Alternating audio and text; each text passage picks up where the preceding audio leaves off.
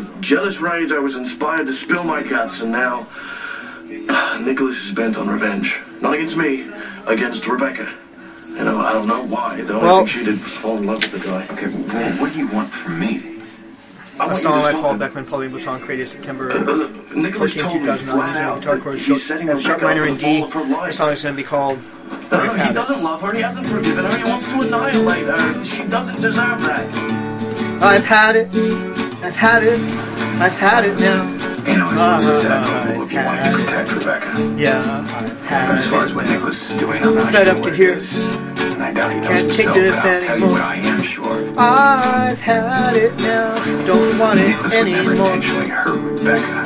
If Well, no now if you can't stand it, do something about it. And if you can't, don't wallow in your pain. That you're more naive than I thought. Fix it, heal it, mend it, transcend it,